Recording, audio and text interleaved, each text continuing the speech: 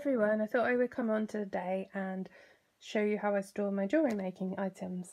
So in this little Ikea box I have my pliers. There's actually one missing because my husband keeps pinching them. And I'm holding this in my hand so sorry if it's wobbly. Um, this little container here has three tiers on it and it was from the range and I store all of my findings in here. So I've got my sterling silver there, some silver. It's not the best because these little pieces in the middle sometimes come up.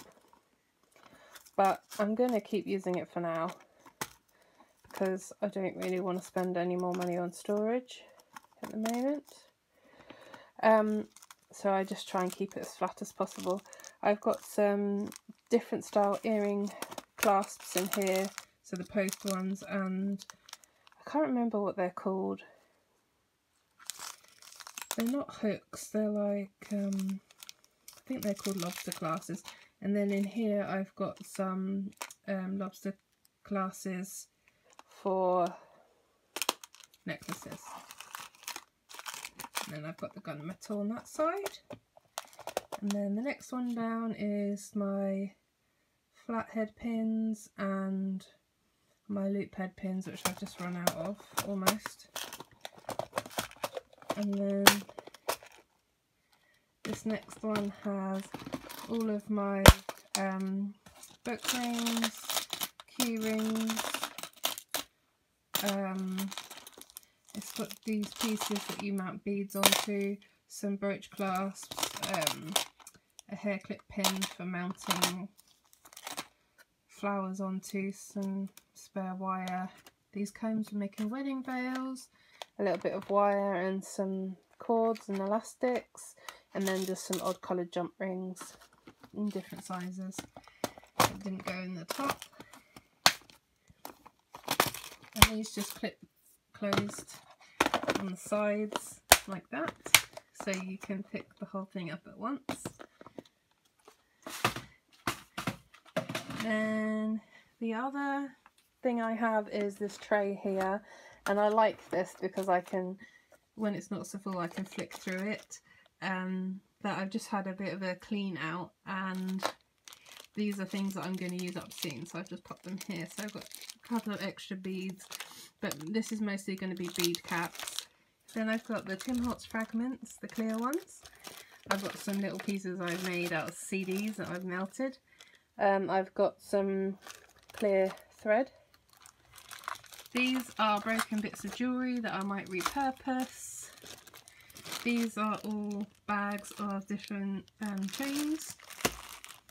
I've got my elastic cords and my hemp cords and my wax coated cord. I do have some faux leather cord as well and a few more clear strings in there. And at the moment I've got some overflow letter beads in here but once those are used up this will just be for cords and chains and bead caps. And then this is what I just got in the Black Friday sale from Hobbycraft and it cost me £12 and it has all of these boxes in. I was so happy to find these in England. They're really hard to source and they're really expensive. So £12 for all of these was an absolute bargain and it comes in the case which is great. And this case actually fits in my Expedit which I wasn't expecting. I have to put it in sideways but that was great. So I have these in rainbow order and then on this side um, I needed a white, a clear, silver, grey and um, I decided to make this blue green and that blue just to separate them out because they don't always go together. Um, but as you can see my favourite colours are black, purple and pink because I have two boxes of those and if I just take one out so you can see inside they are all stored in individual baggies and sometimes I put large charms in but for the most part they're just beads. And I've got some in these little pots as well. Just whatever I had them in I used. I don't like buying storage if I don't have to. So yeah, that's how I store all of my beads and they're all exactly the same um, except for in different colours. Apart from this one, if they come in like strings of beads, like if you look at the bottom, I had a string of these um, skull beads so I just left them on the string. Okay, so that's my jewellery storage. And how I used to store them was in these trays here. Excuse my rubber band ball. I was playing with that earlier. It's really it's really therapeutic to squish it. Anyway um yeah so I used to I still store some of my charms and stuff in here like my metal pieces and broken bits that I just stick onto cards or whatever. But um I used to store my beads in here and I used to store them I think it was two too high and I had four of them in these drawers here. They fit too high and there was a little bit of room down the side which was great. But they got too heavy for me to lift.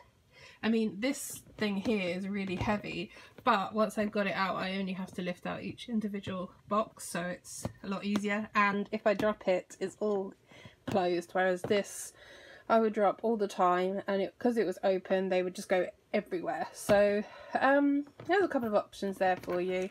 You could store them in baggies in there but then they didn't stack on top of each other. So it's up to you really what works for you. I tend to put things in here that I just want to grab and use because I want to use them up because I've had them for ages. There's wood veneers in that one. So yeah that's a quick peek on how I store my jewellery making items. I hope you enjoyed that and if you've got any questions leave me a comment in the box below and I will try and do my best to answer them. And yeah, thank you for watching. Bye!